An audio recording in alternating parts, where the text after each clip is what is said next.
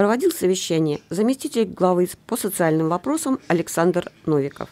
Генеральный директор МУП ККП Вячеслав Седунков доложил, что в первом микрорайоне на трубопроводе водоснабжения обнаружен дефект. Есть у нас дефект на трубопроводе водоснабжения в первом микрорайоне. Э, временно отключен три жилых дома, пятиэтажки, 10, 11, 11 А, детский сад Мишутка, первая школа и Феникс. Э, до устранения порыва значит, сегодня планируем работы э, завершить.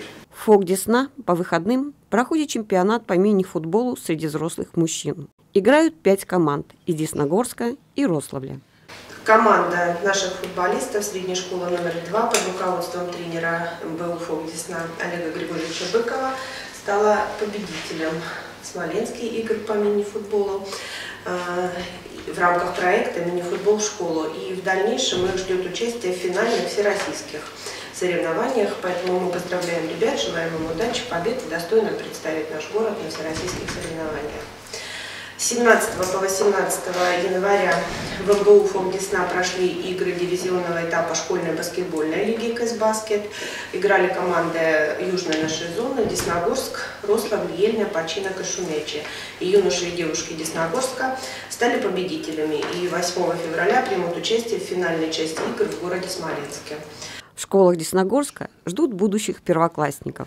25 января на базе Дома детского творчества в 14.00 состоится муниципальный этап а, конкурса, инженерного конкурса по следам Жюль Верна.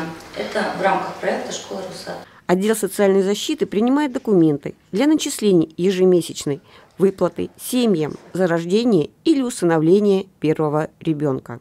Ежемесячная выплата э, составляет 10 201 рубль при условии, если средний душевой доход семьи не превышает 16 767 рублей.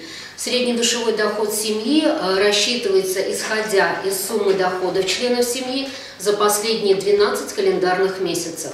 Инфекционные заболевания регистрировались на обычном уровне. Грипп в Десногорске не фиксировался.